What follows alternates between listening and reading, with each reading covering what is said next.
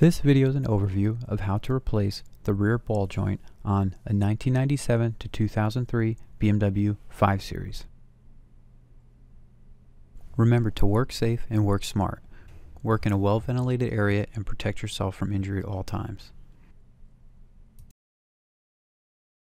Before beginning, consult your owner's manual or the appropriate repair manual for your vehicle. The repair technique in this video has been refined over time by a professional BMW mechanic. Before beginning, consult the repair manual and confirm that this procedure does apply to your vehicle. The rear ball joint is located in the bottom of the wheel bearing carrier. Remove the lower ball joint and integral link mounting nut.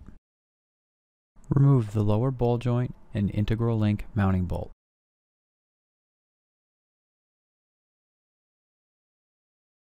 Remove the integral link mounting bolt. Remove the integral link.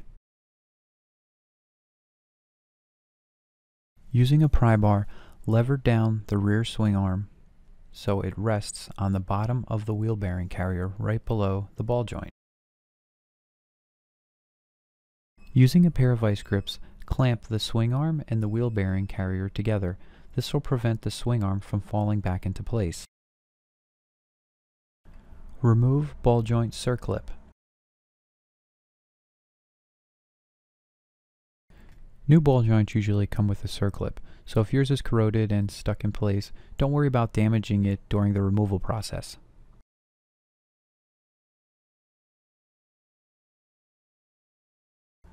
Once the circlip has been removed, remove the rubber sealing boot from the ball joint. To remove the ball joint from the wheel bearing carrier, use the BMW Special Tool Ball Joint Remover.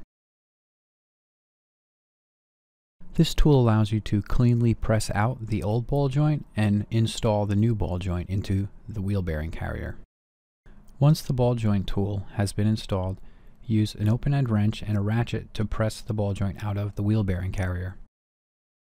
With the ball joint removed, clean the ball joint mounting hole in the wheel bearing carrier.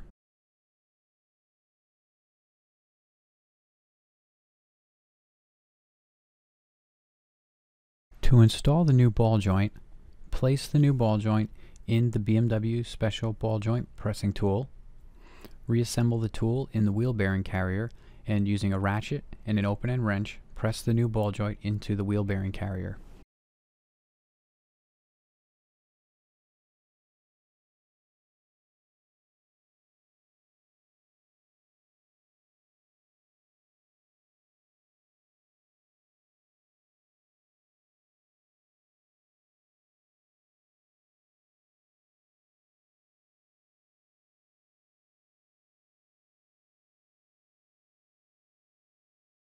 Once the ball joint collar is flush with the wheel bearing carrier, remove the ball joint pressing tool from the vehicle.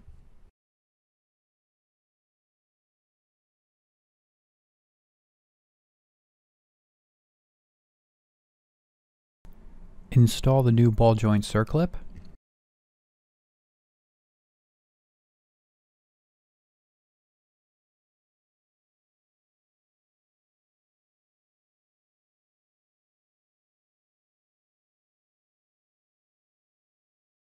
Reinstall the integral link using the upper fastener.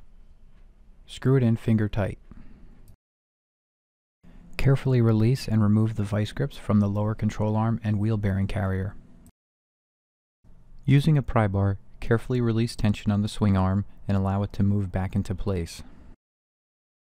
Using a drift punch, align the bolt hole in the swing arm and the ball joint. Install the swing arm bolt, nut, then properly torque all fasteners, and have vehicle professionally aligned.